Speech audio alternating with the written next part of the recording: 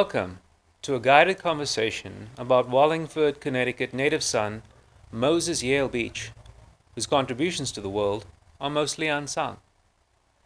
Today we are speaking with Valerie Komor, Director of Corporate Archives at the Associated Press, and professors of American History Menahem Blondheim, joining us from Israel, and Robert E. May, joining from Washington State. To provide our viewers with some context, Moses Yale Beach was born in Wallingford, Connecticut on January 15, 1800, and died in 1868. A man of many skills and innovations, his most successful venture involved the penny newspaper The Sun from 1838 to 1858. He died approximately three years after Lincoln was assassinated, while living in his mansion built by architect Henry Austin. In 1838, Beach assumed complete ownership of The Sun by buying out founder and brother in law Benjamin H. Day's interest. Under Beach's guidance, The Sun became arguably the most successful daily newspaper in the United States. Beach readily kept in step with the changing technological contexts and ensured The Sun always adjusted and increased its readership and circulations. From employment of steamships, boats, horse express to carrier pigeon, Beach was a man of great faith in all forms of progress pioneering the employ of steamships and railroads in the collection of news. But it was the work of a neighbor living only a block from the Sun's New York office which inspired in Beach a legitimate wonder. Developed in the 1830s and 1840s by Samuel Morse and other inventors, the telegraph revolutionized long distance communication. It worked by transmitting electrical signals over a wire laid between stations. In addition to helping invent the telegraph, Samuel Morse developed a code bearing his name that assigned a set of dots and dashes to each letter of the English alphabet and allowed for the simple transmission of complex messages across telegraph lines. Beach was a vocal advocate for the importance of the telegraph. He not only supported the building of necessary infrastructure, but he insisted that there should be no monopoly use of the telegraph by anyone, including the Sun.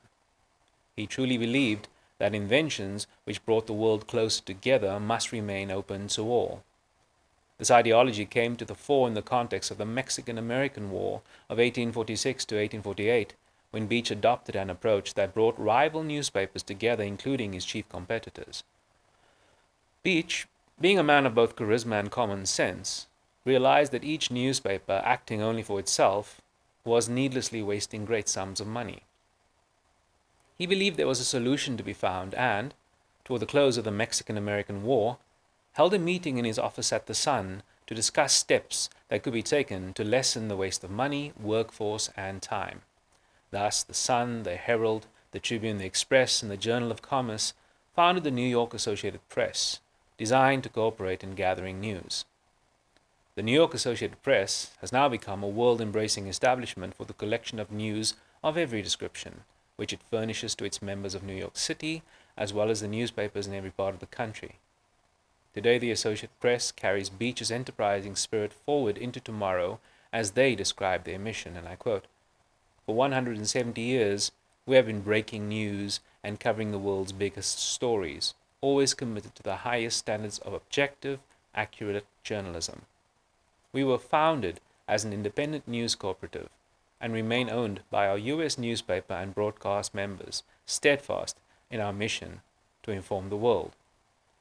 From delivering the news via Pony Express in 1846 to working in virtual reality today, we are always innovating. End quote. After the formation of the Associated Press and the end of the Mexican American War, Moses Y. Beach decided it was time to pass his business into the ready hands of his sons and return home. He was only 58 years old at the time. We will reveal some of our discoveries about Moses Yale Beach and attempt to put his contributions into context for both his time and ours. Our distinguished guests are experts in their respective fields, and their contributions remain, increasingly so, relevant to our contemporary education regarding important events in history not always in the larger public awareness. This is but one reason why we are happy and honored today to be joined by the Director Komor and Professors Blondheim and May. Professor Robert May, formerly of Purdue University and now retired, is a specialist in 19th century American history and the author of, among others, Manifest Destiny's Underworld, The Southern Dream of a Caribbean Empire, Slavery, Race, and Conquest in the Tropics, Lincoln Douglas and the Future of Latin America, and Yuletide in Dixie, Slavery, Christmas, and Public Memory. His works contribute renewed understandings of and interventions to knowledge about 19th century American Western expansion. In doing so, Professor May's work alters and enhances our understandings of manifest destiny, underground railroads, and other important focus topics affixed to the antebellum and beyond, and Professor May's recent writing continues to explore the necessity of intervention in nationwide education curriculums. Professor Menahem Blondheim is a faculty member in the Department of Communication and Journalism and the Department of History in the Hebrew University of Jerusalem. His research explores the role of communication in American and in Jewish history, as well as the history of media. A former entrepreneur and executive in the high tech industry in the dawn of high speed digital communications, he also studies the development, performance, and meaning of communication technologies, new and old. He has received his BA degree from the Hebrew University, MA and PhD degrees from Harvard University, and has won fellowships from the NEH, Smithsonian Institution, Library of Congress, and the University of Pennsylvania. Professor Blondheim's extensive work in communication and communication histories is, for our purposes, fascinatingly presented in his book News Over the Wires The Telegraph and the Flow of Public Information in America, 1844 to 1897. Director Valerie Komor is the founding director of the Associated Press Corporate Archives. Before joining AP in 2003, she held positions at the Oberlin College Archives, the Rockefeller Archive Center, the Smithsonian Institution Archives of American Art, and the New York Historical Society. She holds an MA in Medieval Studies from Yale University and an MLIS from the University of Texas at Austin. In 2003, AP President, Vice President, and Director of Corporate Communications Kelly Tunney asked Director Komor to establish AP's first corporate archives. According to Director Komor, this offer was a great challenge, as it involved creating a new department and promoting a new idea within the company, the systematic documentation of AP itself. Finally, I am Rian Oppold, an English and Cultural Studies scholar at Stellenbosch University, South Africa. I am interested in the absorbing global histories of media and communication as I pay attention to our contemporary media cycles and usages. Our three guests and their work you may have noticed, have ties to the subject of our discussion today, namely Moses Yale Beach, a name largely still unrecognized in the public imaginary. Let us begin with how our panelists first encountered Mr. Beach. If I may start with Director Komor, what was your first encounter with Moses Yale Beach? My first encounter with Moses Yale Beach was actually an encounter with his great great grandson, uh, Brewster Yale Beach. Uh, and that took place shortly after I arrived at AP, probably in 2004. And Kelly Tunney, um, then, as you mentioned, head of uh, corporate communications, had already met um, Brewster Yale Beach, um, who was really a very interesting man in his own right, but um, specifically uh, of interest to AP, held a collection of personal papers that he claimed documented the founding of the AP by his great great grandfather, Moses Yale Beach. And so, as he lived uh, a couple hours north of New York, uh, we drove up to meet him and his wife um, and spent um, an afternoon looking over the papers, which um, he did bring up out of his basement uh, storage area. And we talked about them, and that was really the first time I had ever encountered the name of Moses Yale Beach. And we were, Kelly and I were very, very intrigued. Um, and I thought it was very important to understand exactly what his contribution to the founding of the Associated Press was. So that afternoon, we developed uh, the beginnings of a friendship, and uh, eventually, uh, Brewster uh, Yale Beach um, came down to visit the AP, and ultimately, uh, we arranged for him to donate those papers to the corporate archives. Thank you very much, Director Komor. If I may shift the same question now to Professor Blondheim. Okay, let me start from the end. My last encounter with the beaches, Moses, Ye- Moses Yale the father, Moses Sperry the son. Uh, as it turns out, uh, there was a competitor to Tom to uh, Mark Twain in writing *The Innocents Abroad*. Moses Beach visited the Holy Land in the same excursion with Mark Twain and wrote his own memoir, which I started digging into living in Jerusalem as I do. Uh, and I discovered more and more on uh, the beach family affairs uh, at the New York Historical Society, where Valerie, uh, of course, knows very well. And it was it's a fa- fabulous project which connected me back to actually my work as a doctoral student. Uh, that's where I encountered when and how I encountered beach for the first time. Uh, I was looking into the uh, impact of the telegraph, and after a very short while, I discovered that as a com- common carrier, we simply don't have records that would enable to construct a social history of uh, the American telegraph and telegraphy generally. But one place where we do have records is the use of the telegraph for news reporting, because the telegraphic news reports are recorded in newspapers.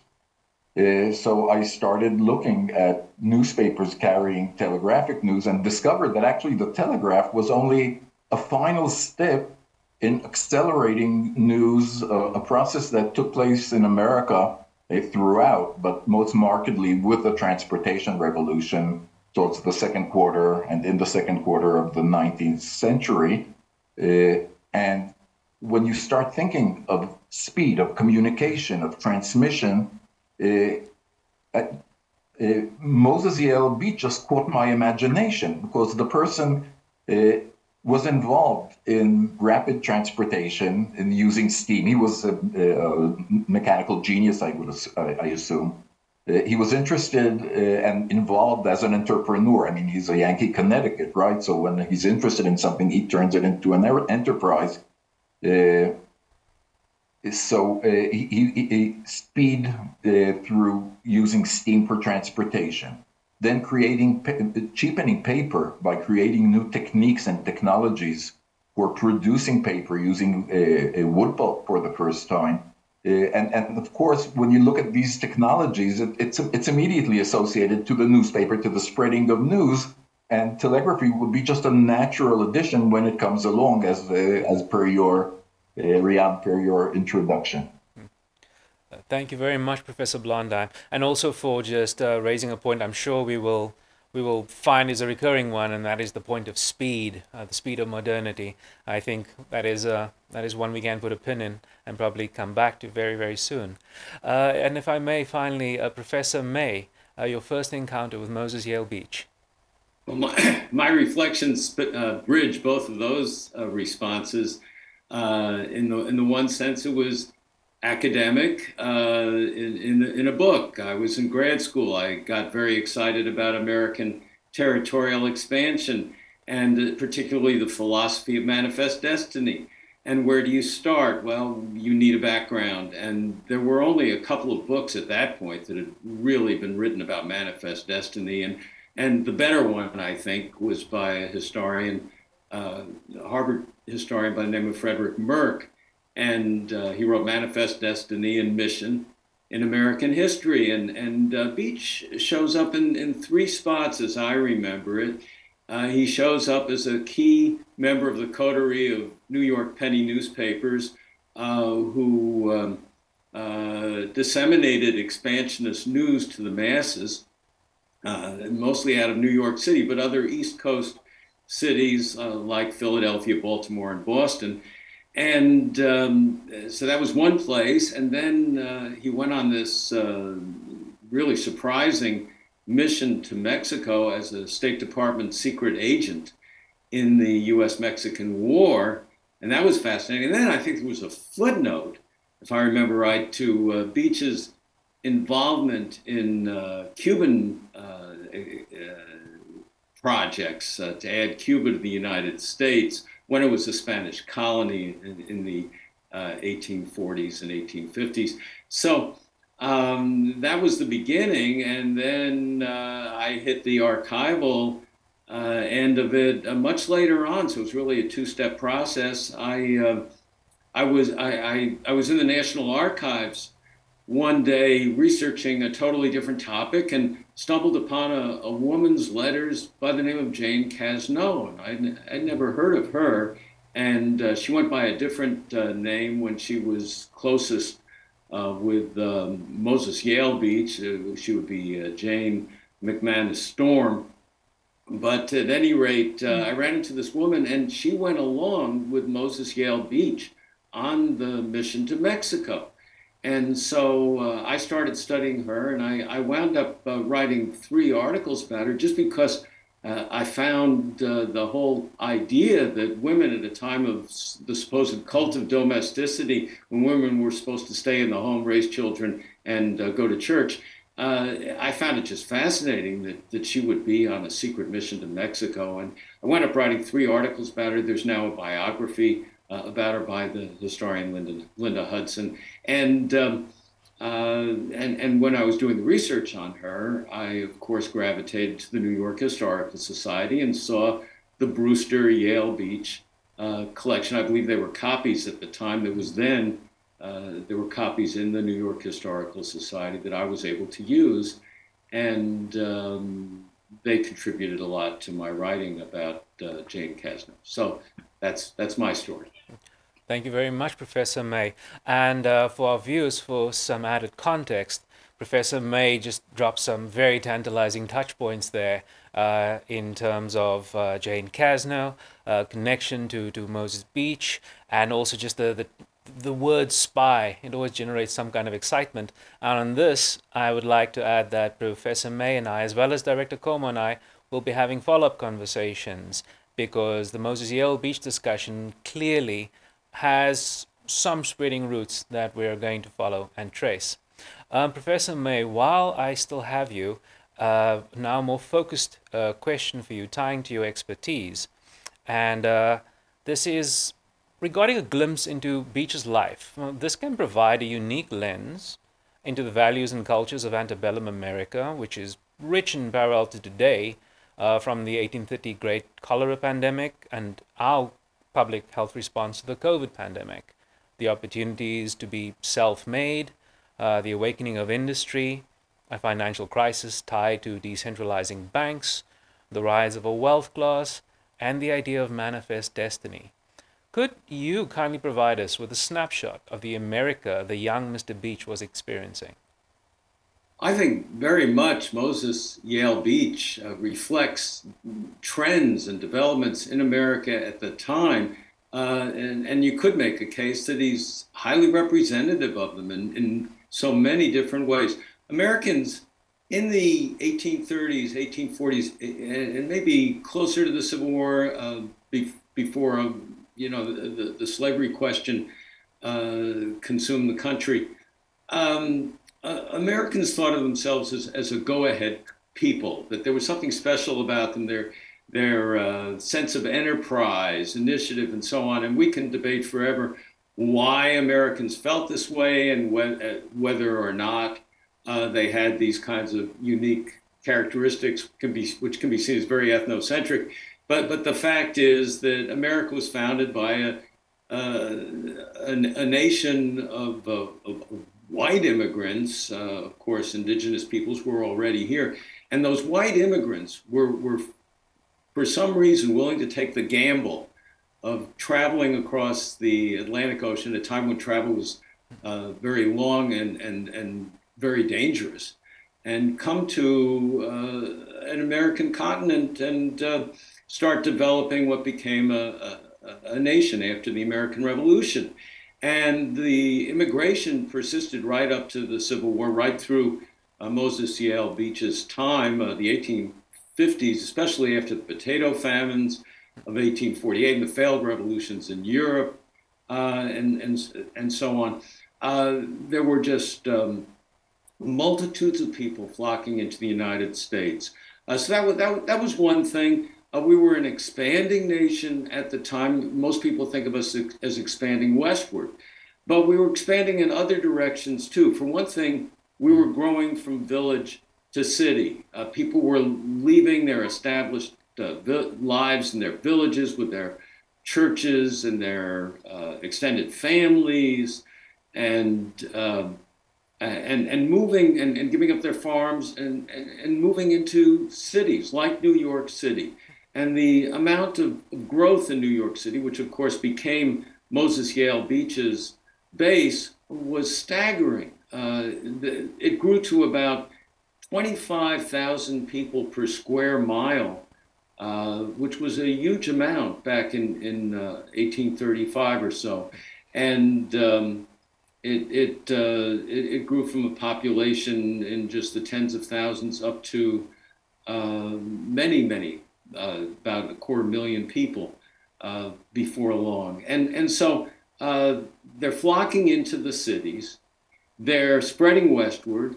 Uh, the cities are developing commercial links with all parts of the world, including Asia, but but also especially uh, the Caribbean.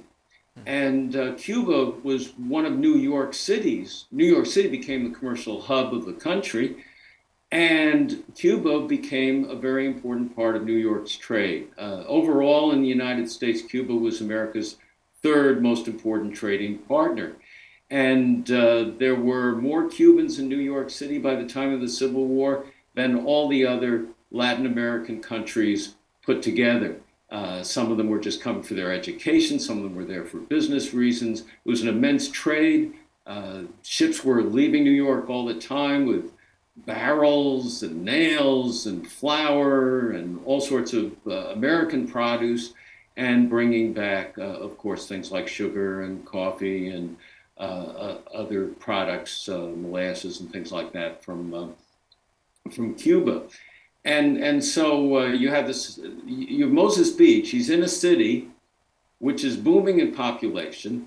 He comes from an area where technology reigns supreme. If you look at the great inventors of American history, and, and our inventor, inventions were respected all over the, the world, uh, the, uh, uh at the uh, Crystal Palace exhibition in 1851 in London, uh, they raved over things like the Colt revolver and the McCormick Reaper and so on. But virtually every one of the, the key inventors of the period, except McCormick, uh, who was born in Virginia, virtually all the others, whether you're talking about John Deere, who invented the steel plow, or Samuel Colt, who invented not only the revolving chamber on the on the on the uh, revolver, but also the whole principle of interchangeable parts uh, and Elias Howe, who invented the sewing machine. I could go on and on, but uh, almost every one of them is from New England. Well, New England was settled by uh, the Puritans, especially as we know. The Puritans put in the first public education system in America.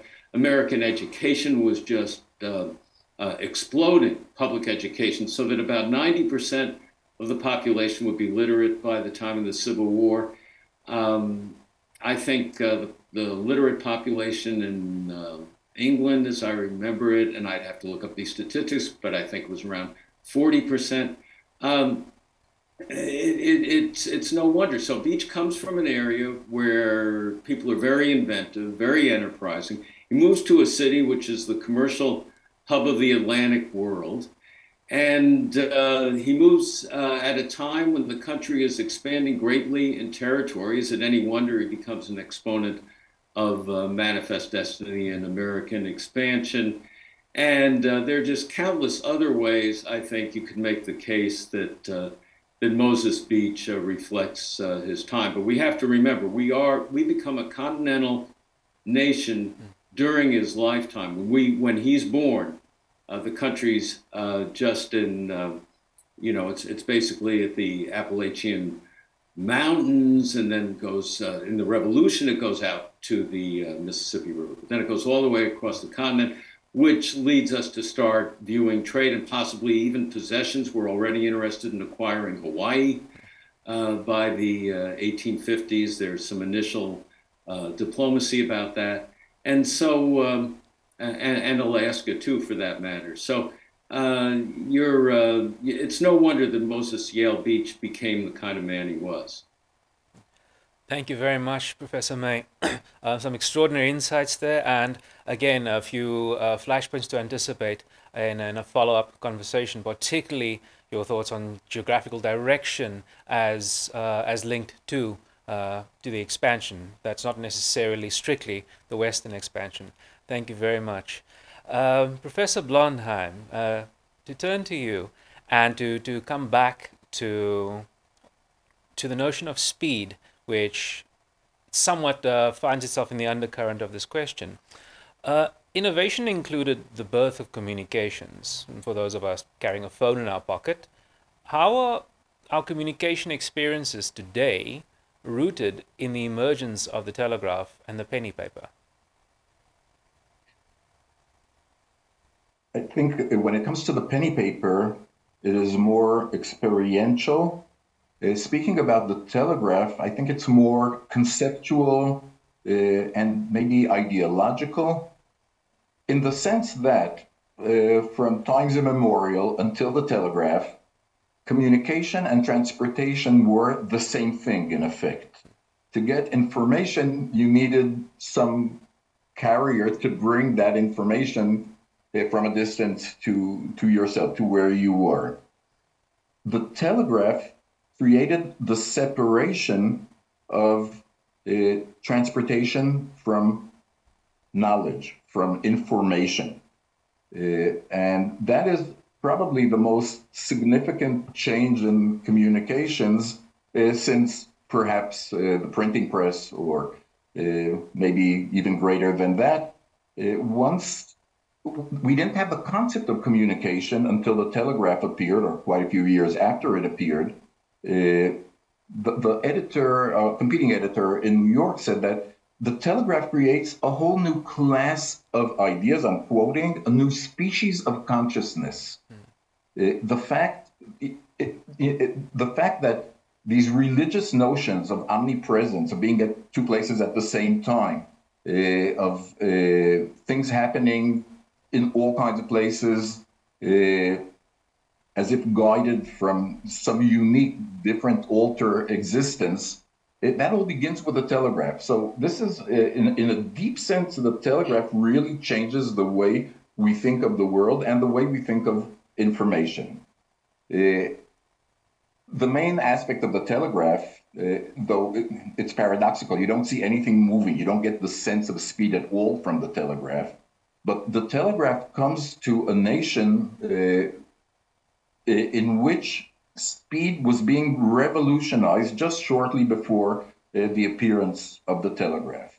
Uh, river navigation uh, speeded up 500% in uh, the two decades before the telegraph. Uh, it, it, were, it was three months to get from New Orleans to Chicago. Uh, once Chicago was established, uh, with the with uh, with steam, these times were shortened by hundreds of percent, and with the telegraph, overnight distances just no longer existed when it came to information. But the way a person got that notion, got that feeling, was through reading his newspaper.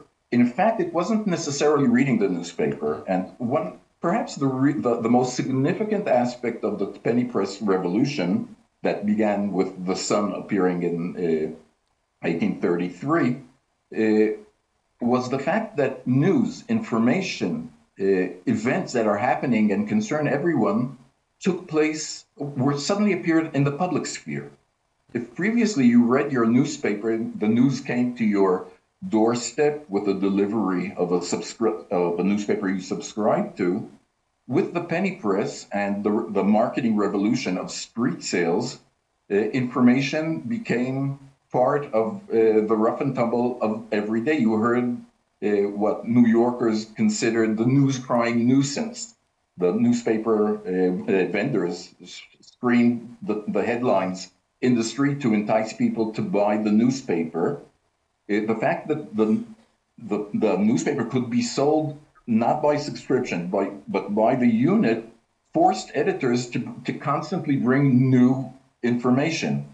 So if at the beginning people like Moses Yale Beach, who wasn't very, uh, or Benjamin Day, in fact, but later Beach too, uh, they realized people were thrilled by new information about the world, about things they didn't know previously. Uh, so they started collecting local news, which wasn't really previously newspaper material. They went to courts, they went to hospitals, uh, they went to the fire department to hear where there were fires, they went to, to the courts to hear new proceedings of trials that caught the people's fancy. Uh, they brought a, news just by walking around town. These people who weren't well connected, the news didn't come from the outside in, from networks of financial experts or networks of politicians. They picked up the news from strolling through town, that, uh, uh, as Professor May explained, where towns were and cities were growing uh, constantly. There was more happening. And people were curious about this kind of information. And the fact that you had news in the public sphere, it caught. Now, when you have a newspaper sold on the streets, you could publish a number of editions a day. By subscription, it's one edition in the morning. You get a piece of news. Okay, it waits 24 hours until it gets published. But if you can sell in the streets, uh, you, any new bit of information can immediately be printed, published, and brought to the public. So you walk down, you walk in Chatham Square in New York, and every few hours you hear new information, new news. So your consciousness of change uh, is uh, alerted uh, immediately. You buy another newspaper, and of course, editors understood they're capitalists. They put their money where uh, they believe their sales are, and they started investing tens of thousands of dollars in speeding news using special uh, ships using uh, uh, pony expresses and so forth to speed the news. There was a tremendous return on investment in speeding the news. And that is, of course, the background for the significance of the telegraph to the New York press and to the notions of the shrinking distances and the shrinking lengths of time uh, in that period. Thank you very much for that, Professor Blondheim. And for our viewers, the palpable sense of rush is deftly captured in Professor Blondheim's book, uh, News on the Wire. Uh, the unfolding of the speed of the news cycle um, through through the various innovations Professor Blondheim just discussed, uh, there's something quite exhilarating even for the reader. So, if I may, that's just a reference to to the work uh, Professor Blondheim has already contributed. Uh, to move on, uh, Director Komor. Now, to, to just go back to, to, to, Moses Beach himself, how critical are Mr. Beach's preoccupations uh, with fast and verifiable news to the Associated Press today? Well, I think, uh, first of all, uh, in our discussion of, of speed and its origin, um, and speed as a way of doing greater business, but also giving people what they want, uh, timely and new information, the AP still does that. Um, speed is uh, an ideal, of course. Um, it is not, uh, however, the primary ideal you could think of the um, evolution of accuracy along with speed as being kind of a joint ideal of the Associated Press. And of course, those those twin ideals are not limited to AP as far as um, uh, the news goes, but the the notion of of pairing accuracy with speed developed over time. Um, and I would say that probably the, this, this sense of, you know, get it first, but first get it right uh, comes after about 1900. So as the culture within the organization matures um, and a, a kind of a sense of how do we want to present ourselves and what indeed are the most important um, uh, goals or what is our chief mission, I think you'll find that accuracy kind of climbs past speed. Um, I mean, you can see that uh, in AP's election coverage. Um, just to give you a, an, an example, in the um, 2020 general election, uh, on election night, um, AP was alone with another news organization in calling the race for Biden in Arizona. Now, it turned out that that was the correct call. But in retrospect, it was probably too early to call. And uh, you know, when you talk talk to people, yes, they say yes. Um, you know, we we that was probably too early. So in other words, even though it turned out to be the right call, um, AP would rather be right than first. Uh, so um, yes, but it's you know speed is certainly never far um, from the the thinking of journalists, but I think in their training um, and in their uh, you know day to day work, they try very hard to you know not to be seduced by the notion of speed because it can it can lead to problems. Thank you very much, uh, Director Komor, and uh, as in uh, Professor May's case, thank you also for providing some insight to uh, some topics we may pick up uh, in our extended conversations, particularly uh, with your guided experience of knowing how the AP almost writes or thinks on itself. Thank you very much. Professor May, now a focus question once again for you. Credible news during the Mexican War meant receiving reports from journalists like Jane Storm. Can you share what you know of her connection to the sun? and comment on her influences and biases. Sure. And, and before I do, I just have to uh, uh, add a cultural artifact uh, as kind of a point on uh, Professor Blondheim's uh, remarks a minute ago. Uh, it seems to me that the, the painting by Richard Woodville, The War News from Mexico, comes in so nicely on this. It, it shows um, a bunch of people in front of a, building, a, a wooden, a small wooden building called the American Hotel. And uh, they're on the front steps and they're reading and talking about the, the war news from Mexico. It's just arrived, probably by the system that, that Moses Yale Beach set up. Uh, and uh, it's it's a it's a it's a very uh, very interesting historical uh, uh, painting. But anyway, uh, regarding uh, Jane Jane Storm and her uh, connection with the sun, Jane Storm's had, had a, a very colorful pre-sun life, you might say. She she was the daughter of a, a man who became a, a, New York congressman. He he was a lawyer and a, a merchant, and uh, they the family hit some apparently fairly hard economic times, and they got involved in Texas land speculations. And uh, her uh, her father knew Aaron Burr, uh, who of course had long since killed Alexander Hamilton, and um, he sent uh, Jane. Uh, who at the at the at the time was unmarried, off to see Burr and uh, the uh, the details of the land speculations in Texas uh, are too mind-boggling for me to get into on a, short program. But she wound up spending much of the 1830s uh, in either Texas uh, or or New York, and uh, a large share of it in Texas, where she lived for a while in Matagorda. she met her future husband William Cazneau. Uh, she she got to know many of the leaders of what became the Texas the, the Republic of Texas and then the state of Texas.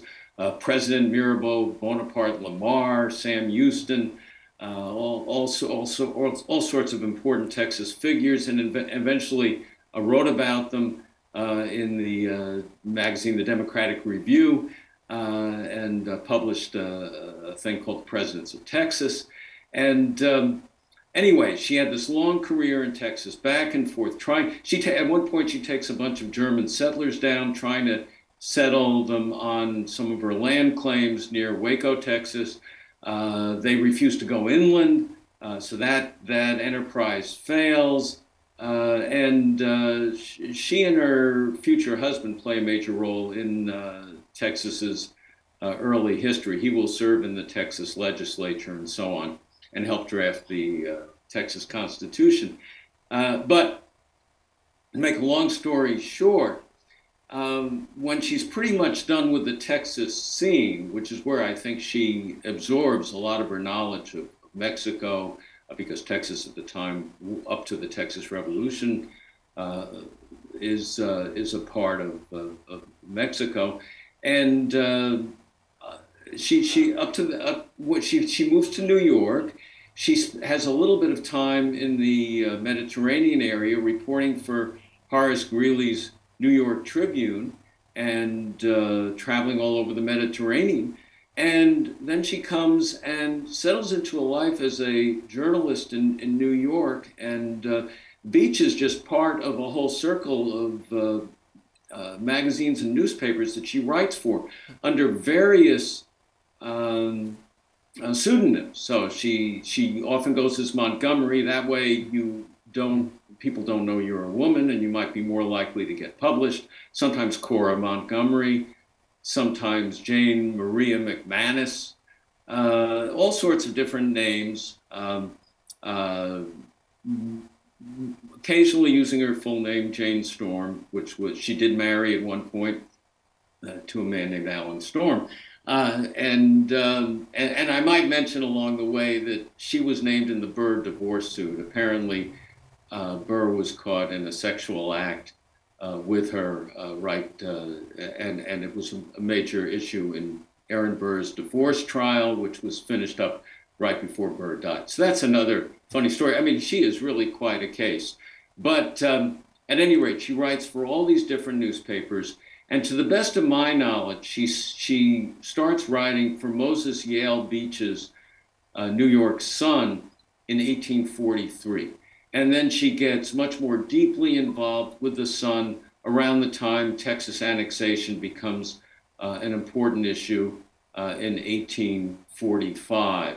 And uh, writes quite a bit for the Sun, but she's also writing for uh, John O'Sullivan's uh, Democratic uh, magazine and, and, and others, the, the Baltimore Sun. Uh, she, she's a rather remarkable woman, and she will keep up her contact with the Sun after the mission with Beach. She will continue writing for it. Uh, she will develop perhaps an even closer relationship with Beach's son, Moses Sperry Beach, because if you read the papers of the Brewster Beach family collection, uh, there, there seems seems to me to be a, a closer collection with, um, with with Moses Sperry Beach uh, in the later years uh, of her involvement with the Sun. After uh, Beach gives up the day-to-day uh, editing of the uh, of the of the Sun to his son, so um, it, it's all a, a, very interesting relationship that, uh, I mean, obviously I could give a lot more details on, on Jane Storm, but I think that's the broad outline of it. Thank you very much. And I might suggest it seems like you may add to your three existing papers on Jane Storm it feels like still a treasure trove of knowledge. Thank you very much, Professor May. Uh, moving back to, to you, Director Komor, can you comment on, on war coverage and the evolution of the AP? Mm. Well, I think it's probably um, no surprise that uh, Beach would have wanted to speed the news of the war in Mexico um, to his readers. There was a great clamor uh, for news of the war. And, um, you know, it, these, these things just came together for him. Um, he understood that there was a delay in the transmission of the news dispatches that arrived across the Gulf of Mexico from Veracruz to Mobile and then onward to Montgomery, that Mobile Montgomery leg uh, tended to delay uh, the news, probably because um, of the difficulty uh, getting horses or getting you know, moving across that particular leg. So, you know, in in hiring a, a, a, writer um, who would get those dispatches from Mobile to Montgomery and then on to the Great Southern Mail coaches, which would take those dispatches to Richmond, which was then the southern terminal of the telegraph. Um, he uh, was trying to solve uh, a very real uh, time problem by uniting several different technologies, of course, as we've discussed, the boat, the horse, and linking them up to the new te- technology of the telegraph. So I think uh, the war simply provided the, um, the, the source or the impetus for that information, um, but the Associated Press um, covers war as it as it covers any news. So there's there's no um, mystery as to why the Associated Press uh, sends reporters to war zones and always has, because somebody has to go and be be witness uh, to conflict in order to tell the rest of the world about it. Now, clearly, um, over the decades and in the intervening centuries, the technology has gone on changing, and um, the standards and protocols for war reporting have also changed. So, um, you know, whereas uh, Vietnam was a war that most journalists who covered it look back on with great wonder at how relatively easy it was to get out to the battlefield. That hasn't always been the case, particularly with the more recent conflicts where journalists are typically embedded, as was the case in Iraq and in the Gulf War. But not to get too um, far afield from our discussion, um, you know, you could write volumes about AP's war coverage, but um, it has always been, um, you know, central, and it's always been a very, very expensive part of AP uh, AP's budget. Um, just for example, in, in Ukraine right now, that's that's another example. Uh, wars are expensive to cover because you're very concerned about the security of your re- reporters. Um, you don't want to tire them out, so you have staff that you have to rotate in and rotate out. I mean, it's a hugely, hugely demanding but essential part of any any news operation, and the AP is no different. Thank you very much, uh, Director Komor. And uh, once again, there are some fascinating points you raise that I hope we might uh, have an opportunity to discuss in our follow up. Thank you once again. Uh, Professor Blondheim, can, can you comment on the social, economic, and political forces that Mr. Beach leveraged? So here I think of paper processing, banking, editorial roles, uh, the post office, and so on. Uh, yes, he was a one man empire of communications in many ways. If I may, before turning back to uh, Moses Beach, comment on two things that uh, uh, Valerie raised. Uh, one is accuracy. And of course, we must not forget that the AP, given telegraphic technology, which is a broadcast technology, basically, the way the AP used it, right? Uh, it's like this great uh, hourglass of news coming in, funneling into New York headquarters from all over the country, being sifted, edited, and then broadcast in one writing to every nook and corner in the United States, to every newspaper gets its news in one writing from the Associated Press. Obviously, the more accurate you are at the source, the, the impact on accuracy throughout the country is tremendous. Let's add to that the, the AP throughout most of its, uh, at least the 19th century, uh, was a monopoly. So it did have the luxury of sufficient time because it had no competitors uh, to be accurate. And I think that's a wonderful gift that uh, we got from the more problematic aspects of being a monopoly of knowledge uh, in the 19th century uh, wars. The Civil War, the big 19th century war, uh, um, the AP had very little expenses in covering it. In fact, it did much less in the field than any of its member newspapers or most large newspapers in the United States. Because it was a monopoly, it got the inform, direct information from the government. Lincoln lived in the telegraph office during the Civil War, uh, and uh, the, the information about the war coming through the wires of the field telegraph, the army telegraph, the military telegraph to Washington were concentrated in Washington. Uh, the Union gave its authoritative news to the Associated Press to be spread throughout the United States. Hence, the Gettysburg Address goes out, uh, uh, um, uh, is given immediately to the Associated Press for spreading throughout the country. So this is a monopoly that has a very close relationship with the administration. It's in fact, Lincoln didn't even go to the trouble of establishing an administration newspaper, as was common before him. He had the Associated Press. Now, part of the beauty of it is no one realized this. Uh, AP uh, reports were always uh, anonymous. They didn't carry uh, uh, a dateline or, or the name of the correspondent. Uh, this was Professor May. This was car, car, pretty current with reporters, unlike correspondents. and there you have the problem of pseudonyms. The correspondent had happened to be a woman, but the news spread throughout the, the, the Union. No one knew exactly where they came from. And Lincoln could just impress the first news on the nation the way he wanted. For the Associated Press, that was a tremendous bane.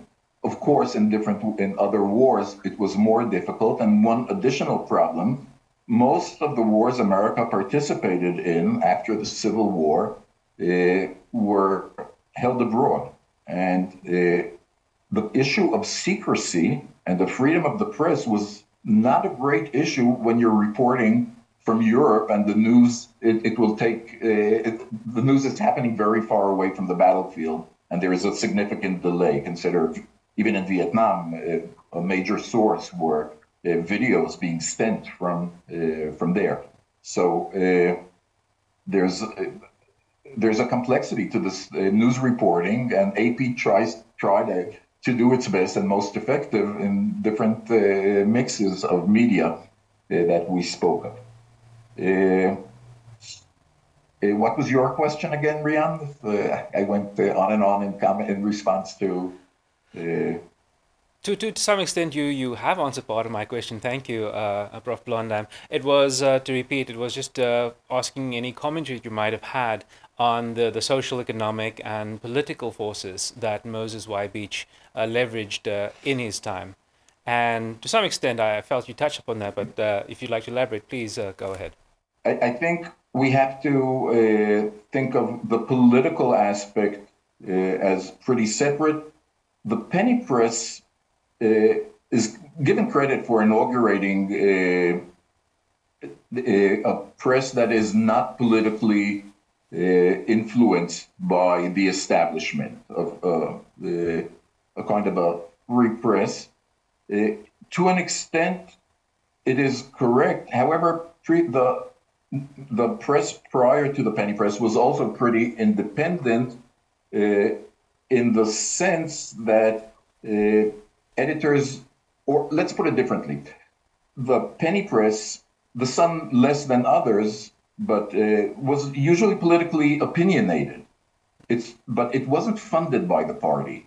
It was private enterprise, and you could always hear some refreshing uh, new ideas coming from the press and the deep sense of public opinion of the 19th century, which is not as today kind of feedback, uh, how many people support or not support. It was opinions coming from the bottom up, percolating up from the people uh, to government, to administrations, to elites. And in that sense, the uh, penny press was truly a, a medium of public opinion, uh, bringing open, fresh ideas to the marketplace of ideas, and then they funneled up into the political debate.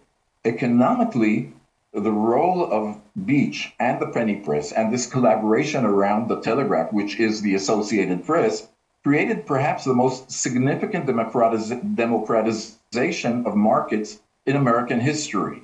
So we're already in the Jacksonian period tending towards a market economy, uh, but insiders had advantage uh, in acquiring, in holding, in working on the basis of inside information people who had networks of correspondence were the first, got letters from their colleagues, and were the first to know the economic conditions and act accordingly in the markets. So the press always came in second. If you based your information on what came in the newspaper, this is after all the traders already speculated in the market, you had nothing to, to, to gain.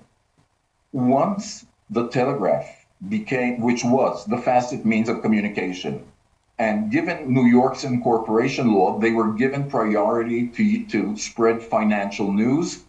The first news that anyone got in America were from the Associated Press, news from Europe, news from uh, news from the markets.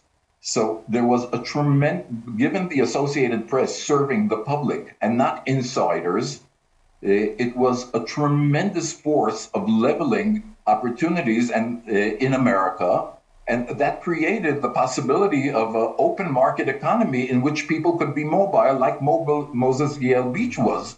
He moved up very fast, became very wealthy, and wrote about these wealthy people of America seeing that new money and old money could reach the same heights in a very, very short period of time. So that's about politics, that's about economics, and that's about Moses Yale Beach. Thank you very much, Professor. Somewhat more general question for all and perhaps uh, this, this question uh, could have some relevance to anyone entering the academe, entering archival work, entering journalism, uh, entering the study of history. Can each of you comment on, on the challenges and importance of primary sources and the irony that Mr. Beach's date of birth is inaccurately recorded in most references because it was reported in his New York Times obituary incorrectly? Okay, I, I, have a wonderful anecdote about this, uh, which came from uh, my interaction with uh, Valerie Komor. Uh, I knew about the, uh, uh, the, the Moses Beach Memorandum, which is our main piece of evidence for establishing the date of the Associated Press and the process of its establishment. my colleague, as a student, in grad school, Steve Jaffe worked on the Brewster Beach paper. He was working on New York journalism and knew I was working on the wire services. Uh, he found this document in the Brewster Beach papers.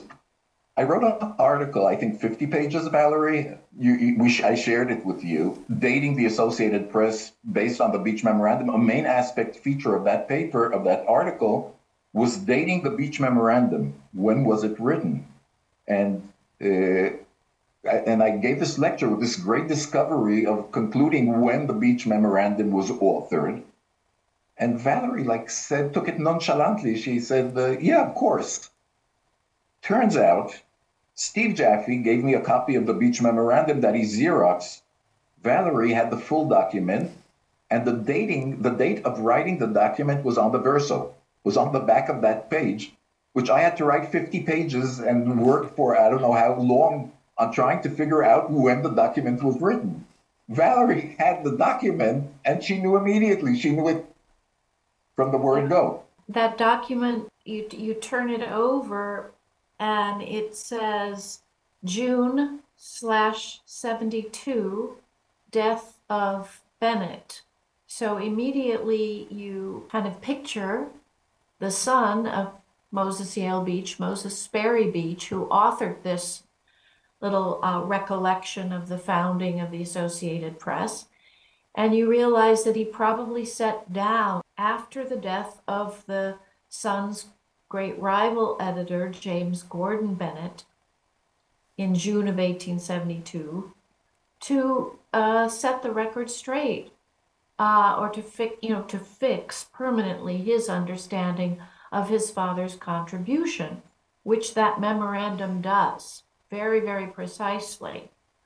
Um, and so that is that is something that um, the archivist, uh, having you know having the physical paper, has the luxury to do, uh, to, to handle the physical item, and to make that physical item available to historians like you both to study and and and and increase the sum of, of our of our understanding um, but it is you know so that that little um, that little story is repeated probably thousands of times um, you know day in and day out as we struggle to either make out handwriting that is not clear or make out uh, a, a, a scan on, on microfilm that has been poorly photographed so that an A looks like an E or a C. Um, uh, meanwhile, you're going blind trying to figure out what letter it really is. Um, and then just people make mistakes. Um, journalists make mistakes. Uh, diarists, correspondents, um, you know, people are human, and so they uh, remember incorrectly or they make things up as they go along to cover ignorance uh, or they hazard guesses. So there really is there, there's absolutely uh, no surprise from this archivist anyway that a, a date of birth might have gotten off by a week. Um, it, it's it, it you know I can think of many many reasons why that would have happened, and it's really funny that Menahem tells that story because when I read the list of questions and saw that, I thought, hmm, we could tell that story. With uh, yeah, excuse me, uh, Professor May, go ahead. I was I was going to say that I could tell it too because uh, when first first of all, all historians, um, if they're smart, I think, and this is certainly advice I'd give to grad students, uh, find a topic to study where there are good primary sources. To give you an example, when I was trying to figure out what to do after my first book, my first book came out of my doctoral dissertation. I had a topic that had all been mapped out in grad school, but but now I had to find something on my own. And I decided I wanted to write another book that had something to do with American expansion. And uh, I got one of the topics that most intrigues me is these filibusters who were American private citizens who formed military expeditions to conquer foreign countries uh, in the period before the Civil War. And uh, one of those filibusters conquered Nicaragua. His name was William Walker. Um, and um, it's a fascinating story. But I had already seen the most of the Walker primary sources, that is to say, letters, and you always hope for diaries, but they, they're often not there. Uh, and uh, they were pretty dull and bland. And um, they were very businesslike. He might say in a letter to one of his associates when planning an expedition to Nicaragua, make sure you've got the boat ready to go at seven o'clock. Walker, you know, and, and they'd be short, cryptic sentences, didn't tell much of his life, his his feelings, his family, anything like that. And so I, I just decided, uh, what could I add to the established record? Not much. Um, so I, uh, I kept looking and I was probing around the Historical Society of Pennsylvania. And uh, I found a letter collection from another uh, prospective filibuster uh, topic, uh, John Quitman, who was, I, I knew he was the Mexican War hero who uh, led U.S. troops into Mexico City during the, the U.S. Mexican War. I knew he had been uh, Mississippi's leading secessionist. But what I didn't know uh, was that there was this really wonderful collection of his private letters to his son at the Historical Society of Pennsylvania. So I decided, oh, I think I'll go with this. And later on, I found some diary fragments and things like that. And there were, it turns out, there were Quitman collections all over the United States. And uh, so I had probably 10, 20 times as many primary sources. Uh, and, and, I wrote a 400 page book. I don't know what I could have said that much new about William Walker. Uh, and um, uh, that, that's one thing. So I think primary sources are essential to writing good histories. And uh, it, it, also helps differentiate uh, many popular histories or commercial histories, we might say, which reevaluate what past historians have written to come up with new interpretations and what um, important uh, new new work is. Uh, but second of all, in the case of Quitman, here's where the link comes in with the beach story. Um, I was trying to figure out when Quitman was born, and um, it turned out there's this prior two-volume synthesis. It's got some of his letters it's part biography, it's partly the study of Mississippi history by J.F.H. Claiborne, who was one of his close friends. So he had written before the Civil War a book about John Quitman, uh, who died uh, shortly before the Civil War. And uh, Claiborne says very carefully, and this is by one of Quitman's own friends, Quitman was born in 1798. So when I wrote my first publication on Quitman, which was just an article, I had the wrong birthday. Mm-hmm. And um, um, luckily, in doing research on him before I got the book done, I traveled to Rhinebeck, New York, which was his birthplace. And uh, my family and I went probing around reading cemetery inscriptions, and we found the Quitman family plot. And there on the gravestone, I found that John Quitman was born a year later in 1799. So luckily, I, I got that information at least in time uh, for my book. We're all embarrassed by errors in books, and uh, most books have uh, at least one or two errors somewhere in them, and, and we try to minimize them. Uh, and uh, so uh, that, that's, that's definitely a link. And, and what I would add to the, to the reflections here are that, that, that these days, we have so many ways to check things. you can join ancestry.com and, and get all sorts of census material without even going to the libraries and reading the microfilm reels and that kind of thing. Uh, it was much harder years ago uh, when I was uh, starting out as a historian. There are wonderful encyclopedias uh, today of all sorts that are easy reference. Um, and uh, of course, the web and Google help. And, and yes, there's a lot of misinformation on the web, but uh, there are so many sources that a, a careful uh, scholar can, you know, start checking things against each other. Uh, Google Books can help out in many cases. Uh, Internet Archive's another web source. There are just so many ways to get the story uh, straight today. So that's a roundabout way of uh, saying yes, primary sources are essential. The primary sources are tricky. And uh, if, if you want to get the story right, you've got to try your best to be meticulous. Thank you very much, Professor May. Um, Director Komor, uh, Professor Blondheim, uh, would you like to add something to, to this particular question that seems to be inviting reflections? Uh, first of all, I mean, Professor May's final po uh, point raises really some significant concerns. Uh, how will the historians of the future document our own era? Hmm. and I'm, I'm, just throwing that out, but I, we can, you know, spend the three of us, the four of us, tremendous amount of time on you know pondering this issue, which is there. uh, which leads me to more very quick AP stories or AP history stories. One is of that vein. Uh, maybe Valerie can help me out with the story, but uh, I was working on, uh, I was very generously granted uh, permission to use AP, the AP president, president's letter books that were at AP headquarters at, at the time, sorry, at the Western Union president's letter books which were located in Upper Saddle River, where uh, Western Union's headquarters were. And uh, the corporate secretary was very generous. I, I, spent two or three weeks there at an office, and then I had to come back because there were some things I really had to look up after processing the information. And she let she they used these files, these president's letter books, as live documents because there were issues of real estate rights of way underground and so on for telegraph wires that were still relevant. So they were in this kind of safe, the size of the room I'm sitting in.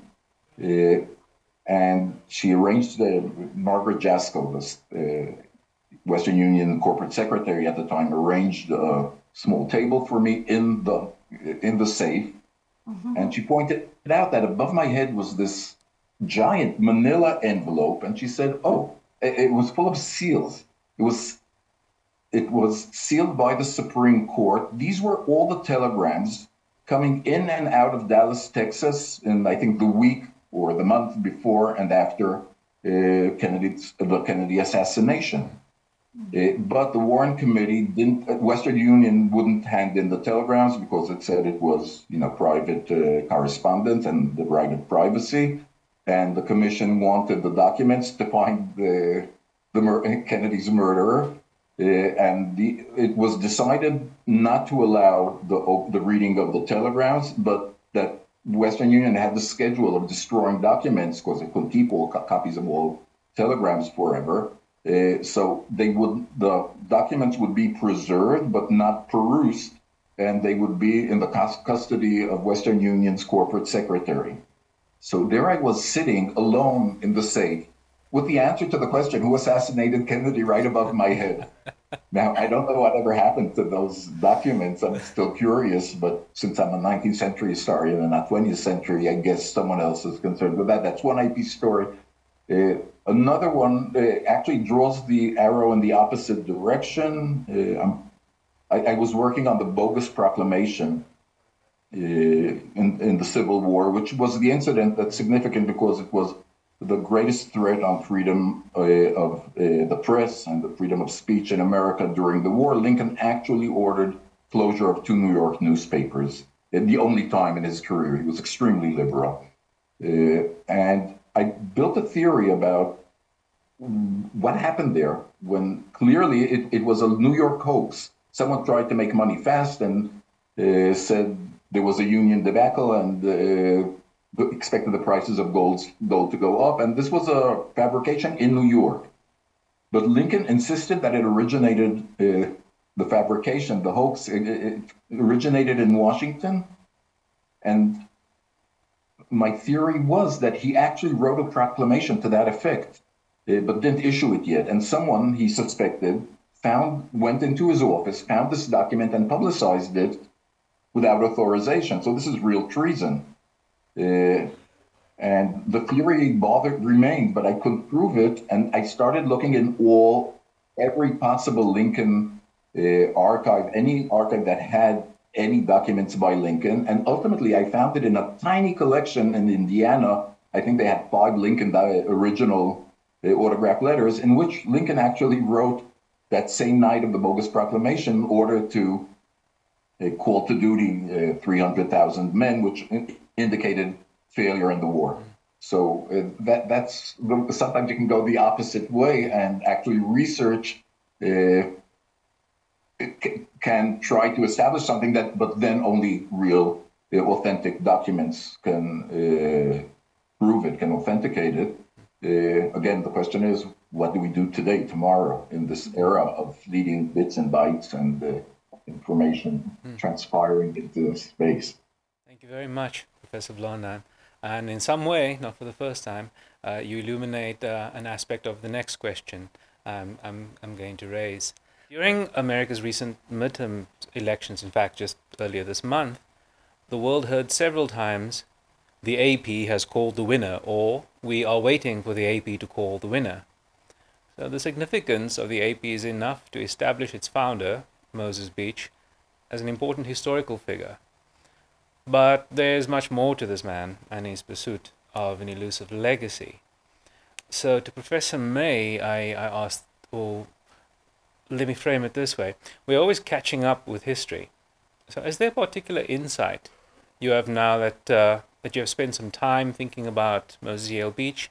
Um, so do you have a particular insight you have now um, about how he may have wanted to influence his world, his time? I, th- I think uh, probably what strikes me the most is how representative he was of a, of a kind of almost a consensus feeling among many of the New York newspapermen, especially O'Sullivan, who we worked with hmm. quite a bit, and yet yet they were rivals. Uh, and uh, O'Sullivan claimed that uh, Beach's circulation wasn't as high as Beach claimed it was, and, and, and so on. So there was a real rivalry between them, but they both uh, seemed to have a real sensitivity uh, that America had to be the a country for the working people, and that they had a role in fulfilling that. It was a it was a mission that, that Jane Cazneau joined in, in many of her columns for both of them, uh, and uh, that uh, the country had to grow, and it had to prosper, and that it had to spread Republican institutions. Uh, in this sense, they were descendants of Thomas Jefferson. Uh, neither of their newspapers were supposedly partisan, and yet they really were Democratic mouthpieces, uh, despite their independence. And I think that Professor Blondheim got, got at that a, a little bit in his comments. Uh, that uh, you know, you have uh, in, in those days you had subsid- subsidizing going on with a lot of the press, and uh, they got printing contracts, for instance. They got a lot of their money that way.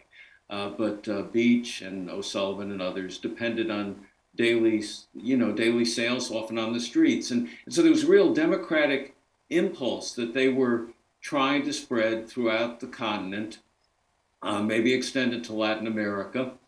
Uh, and uh, I, I, think they shared this. And they also shared, I think, a, a, kind of weakness on the slavery question. That is to say, neither of them and uh, many Democratic newsmen uh, wanted to see the, the, the slavery question ruin the uh, republic for uh, all, all whites, uh, including middling whites, working people, and so on, that they were trying to promote. And uh, so they tended to suppress the, the slavery issue as much as they could. when Jane Cazneau wrote on Texas, she promoted the idea of a, uh, a transsectional, that is Robert J. Walker, who uh, was, was really a, a, Northerner, became a Mississippian.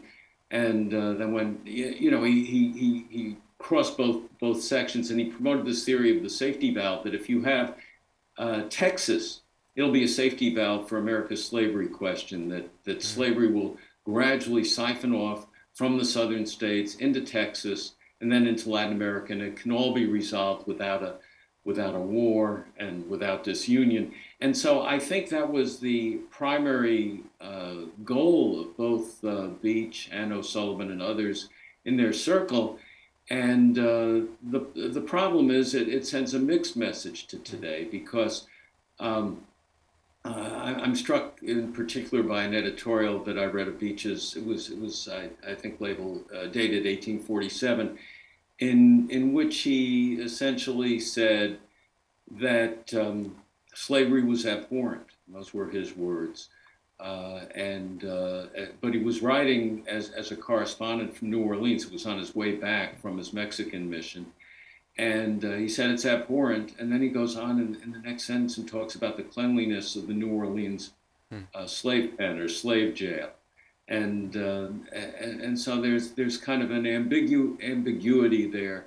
Uh, so so j- just to summarize one more time the point, uh, I think they were trying to promote uh, a greater republic and greater democracy uh, for American whites, and to uh, expand it while also warding off the threat of civil war over the issue of slavery. Thank you very much, Professor May. Professor Blondheim, As you reflect on the motivations that changed journalism in the 19th century, are there any lessons for today? A major tension that I think we face and have been facing since uh, the mid 19th century uh, is between our hope for cohesiveness, having a general public agenda that can unite uh, people in New York on, in the first uh, phase, and then all Americans, and then all people of the world, and so forth. We're looking for uh, some kind of unity, for closeness, for dependence, for interdependence, for being on the same page with the people around us in our neighborhood, in our city, in our country, uh, in the world. Uh, and when we look back at things that pioneers like Moses Yale Beach accomplished, uh, it's tremendous and it's gratifying having people who previously could not afford to buy newspapers or wouldn't go to the trouble because it wasn't interesting enough, uh, being part and sharing the pulse and the feelings and the events and uh, uh, uh you know this experience of manifest destiny this idea is spread by o'sullivan through uh, right that uh, professor Maynell was speaking about. So this unity, this cohesion, this one nation with differences, but that can be debated, and art can be debated in the public sphere. Uh, we long for it in a sense, in this, especially in this age of fake news, of uh, tweets and posts and information and disinformation and horrible kinds of um, content and materials that, that are spread and you don't know when many people trust or they are not trustworthy the, the, responsibility of people like Beach uh, as citizens, as uh, mass media owners, is something we, in a sense, miss. We long for it. But there is the other side of the tremendous power which these people uh, acquired. I mean, they could determine almost the fate of American participation in uh, the Spanish American War because there was one narrow conduit that, that Valerie described, going from ship to a Pony Express to telegraph wire. There was one version of the truth. There was one version of the world. And that is scary, a monopoly of knowledge. So I, I think we live this tension between our wish to be informed, to be part of the public, of having this combination of news, of information and people, and having all of us share the same information environment. We long for that, but then we we really want the diversity. We want this Uncle Tom's cabin coming out of nowhere and completely uh, transforming America. Uh, so I, I think it, in many ways these uh, these tensions remain in uh, throughout the ages. And Moses Yale Beach was like the peak, the epitome of one movement towards towards massification, towards participation towards uh, a, a, knowledgeable electorate uh, and and one America from all its uniting from all its parts, and that's what the AP did. It was the first national non-government organization in America. Uh, so that's a tremendous accomplishment on the one hand, but we sh- we uh, we should be aware of its downside too. Thank you very much, Professor Blondheim. Shall I pause in case Director Komor and uh, Professor May would like to come in on that? I just wanted to pick up on uh, the the notion of the preservation um, of of this uh, of this news that um, Professor Blondheim and Professor May have already described um, in terms of the uh, the challenges uh, that that the archival community faces. Um, on the one hand, uh, to preserve uh, the journalism that um, and and the uh, administration of that journalism, to preserve the record of all that, but also, of course, that we preserve um, the the writing of news at all. Uh, that that we continue to try to um, work to excuse me. Um, well, I'll let that go. Uh, you know, the question of of the educated citizenry, uh, the, the question of being able to read, to respond, to fulfill our roles as citizen uh, by becoming informed um, uh, readers of, of the news, and uh, you know all of all of that has been really is now up for grabs. I think in the culture, and so the work of preservation um, and education, I think, go hand in hand. Yeah, and I'll just uh, add that um, I, I, I'm struck by the wisdom of your comments, both of your comments, and uh, that uh, we're in an age. You know, it, it's very funny looking back on the antebellum period, the period before the Civil War, when there's so many things to despise. Um, labor unions were suppressed, indigenous people were uh, warred on and uh, discriminated against and had their lands taken away, and they weren't considered citizens. Uh, we were um, we we attacked foreign nations. Uh, really, the Mexican War was uh, ninety percent, I think, uh, the U.S.'s fault, uh, and we were looking for ter- for new territory, and there are a lot of things, and then then you tack onto it uh, enslavement throughout uh, much of the country, and uh, women's rights were just beginning to get talked about and pushed, but obviously had a long ways uh, to go before women's suffrage and things like that. So you can go on and on like that. But for all the bad things, you did have an expanding news media, and uh, it went up. The number of daily newspapers, I think, went up from about 25 daily newspapers early in the century and it's up to 250 or 300, I think, by around the time of the Civil War. And at any rate, uh, citizens could have access to news locally. Uh, many cities and towns had newspapers representing both parties, and, um, and We're getting to a point where we're getting even some of our best newspapers are either going online, uh, they're getting too expensive for poor people to buy uh, declining circulations. The New York Times is obviously a, a, a paper that's bucked that trend, but uh, we, we have to, I think, uh, be very wary of a society without a, a truly uh, enlightened press where uh,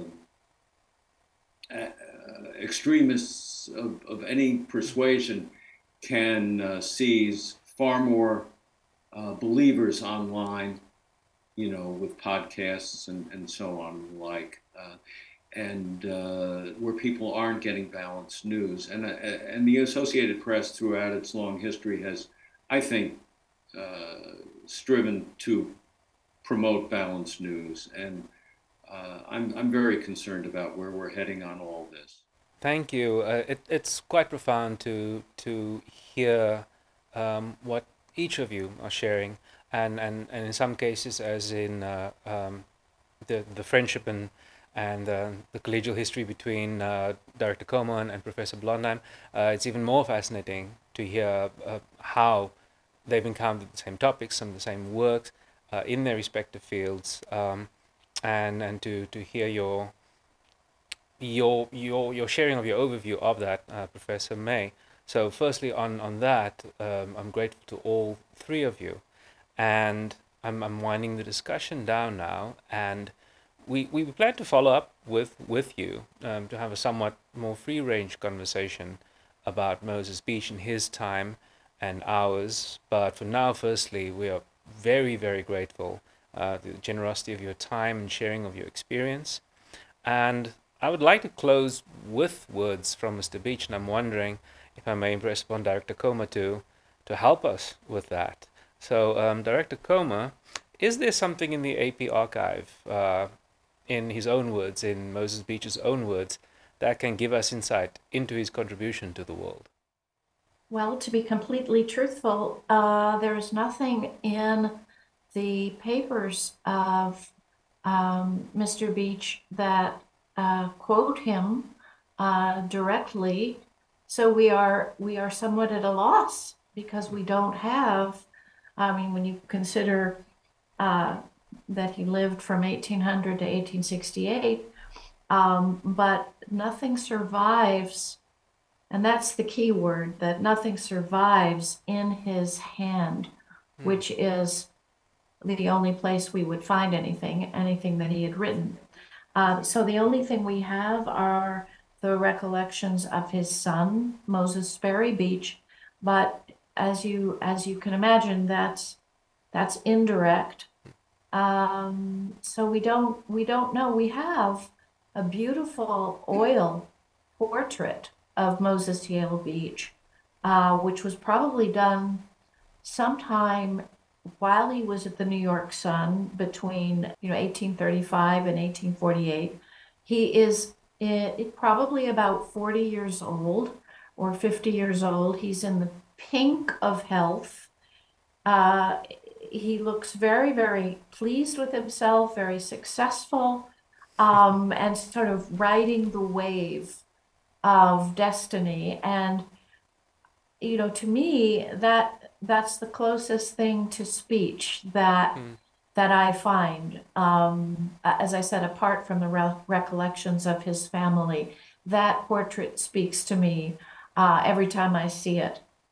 Perhaps I may interject that a picture can speak of a thousand lost words, perhaps mm-hmm. just in this instance. Although, uh, somewhat uh, cryptically, my station manager is hinting that something may have been found. Uh, this will be rolled in, but once again, my thank you to all three of you for your time and for this most illuminating conversation. It's been an absolute pleasure and joy and privilege to hear your insights, uh, your, your shared wisdoms, and to also hear how you engage among one another about these very valuable and really, in fact, timeless topics. So thank you very much. Thank Moses you. Yale Beach, in his own words, in the entry from Wealth and the Biography of the Wealthy Citizens of the City of New York, which is described as being an alphabetical arrangement of the names of the most prominent capitalists whose wealth is estimated at $100,000 and upwards.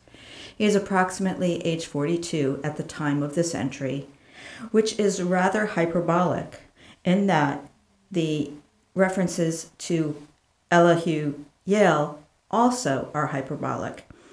A descendant of Puritans who turned Episcopalian, he was not really the founder of Yale College, he was a benefactor. And these hyperboles are also in Moses Yale Beach's description of himself. In his own words, Moses Yale Beach. Moses Y. Beach was born in Wallingford, Connecticut, his grandfather and father being the first settlers and largest landholders in that section. He is a connection on his mother's side of Elihu Yale, founder of Yale College and for many years governor of East India.